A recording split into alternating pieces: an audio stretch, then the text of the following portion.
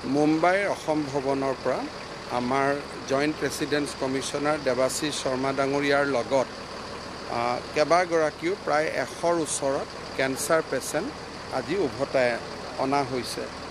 তেওঁলোকৰ অহা যোৱাৰ গোটেই খৰচখিনি অসম চৰকাৰ আৰু আন এটা সমাজসেৱী সংস্থাৰ পৰা বহন কৰা হৈছে। প্ৰায় আঠচল্লিছ লাখ টকা অসম চৰকাৰ আৰু সমাজসেৱী সংস্থাটোৰ মাজত বহন কৰিছে। এখেতসকলক আজি ইয়াত অহাৰ পিছত আমি এওঁলোকৰ টেষ্ট চোৱাব ল'ম। সাধাৰণ জলপান এটা দি হোটেল ৰেডিশ্যনত আমি তেওঁলোকক আজি ৰাতি ৰাখিম। অহাকালি শেষ নিশালৈকে এওঁলোকৰ টেষ্ট ৰিপৰ্ট ওলাই যাব।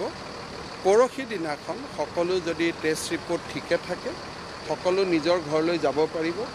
আৰু টেষ্ট ৰিপৰ্টখন যিহেতু নিগেটিভ থাকিব কোনোবাৰ যদি আৰু বেছি চিকিৎসাৰ প্ৰয়োজনীয়তা আছে গুৱাহাটী চিকিৎসা মহাবিদ্যালয় বা বি বৰুৱা কেঞ্চাৰত তেওঁলোকে কৰিব পাৰিব।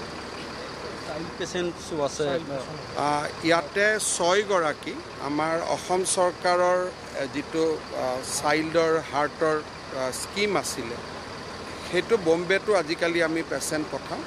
ছয়গৰাকী পেচেণ্টক আমি কেঞ্চাৰ পেচেণ্টসকলৰ লগতে সেই দেৱশিশু ছয়টাকো আমি আজি ইয়ালৈকে লৈ আহিছোঁ মুম্বাইৰ পৰা।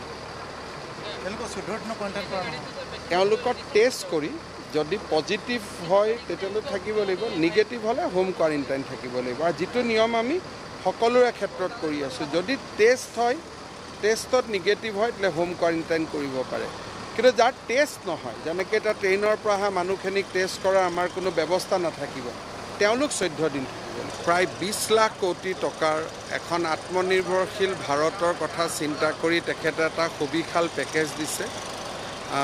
মই ভাবোঁ যে ই ভাৰতবৰ্ষৰ অৰ্থতন্ত্ৰক জীয়াই তুলিব আৰু কৰোণাৰ মাজতো গ্ল'বেল কম্পিটিশ্যনত ভাৰতবৰ্ষখন আগুৱাই লৈ যাব। বিশেষকৈ M S M E demography মানে ইউথৰ ওপৰত এম এছ এম ইৰ ওপৰত গোটেইকেইটা ভাগৰ ওপৰত তেখেতে যি ফ'কাছ কৰি এটা বিজ্ঞানসন্মতভাৱে আগুৱাই লৈ যাব খুজিছে তাক প্ৰশংসা কৰাৰ কোনো ভাষা নাই। দেশৰ কোনো প্ৰধানমন্ত্ৰীয়ে বিছ লাখ কোটি টকা দেশৰ কাৰণে দিয়া আমি আজিলৈকে শুনা নাছিলোঁ। এই বিপৰ্যয়ৰ মাজত এই সংকটৰ মাজত তেখেতে যিখিনি সাহস দেখুৱালে তাৰ বাবে ইতিহাসত তেখেতৰ নাম যুগমীয়া হৈ থাকিব।